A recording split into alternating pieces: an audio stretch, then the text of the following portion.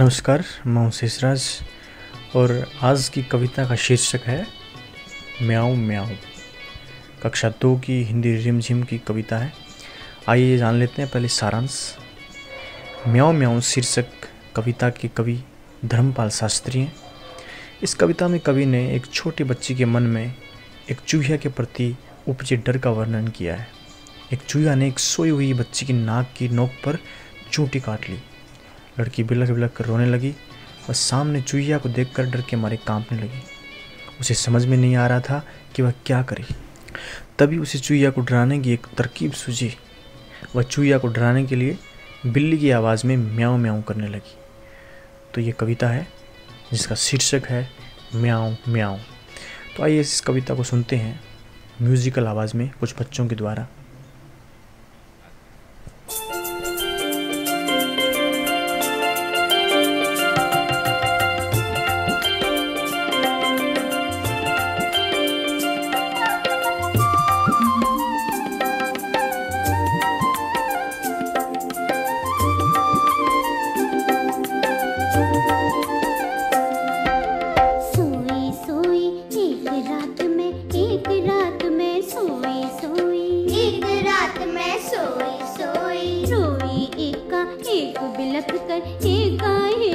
बिलख कर रोई।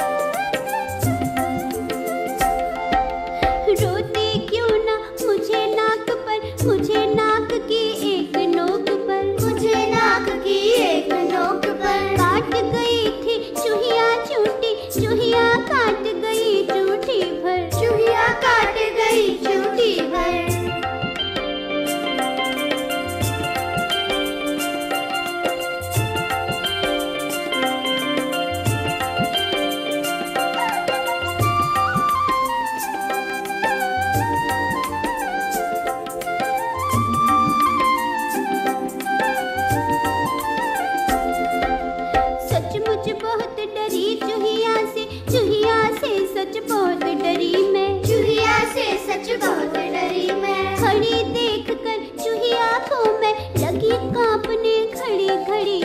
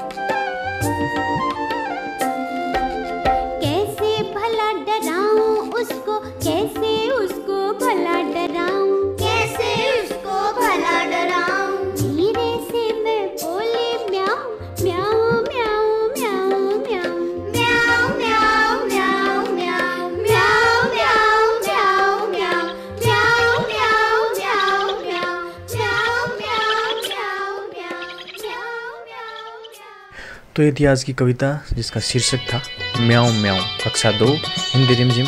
Thank you so much for watching this video bye bye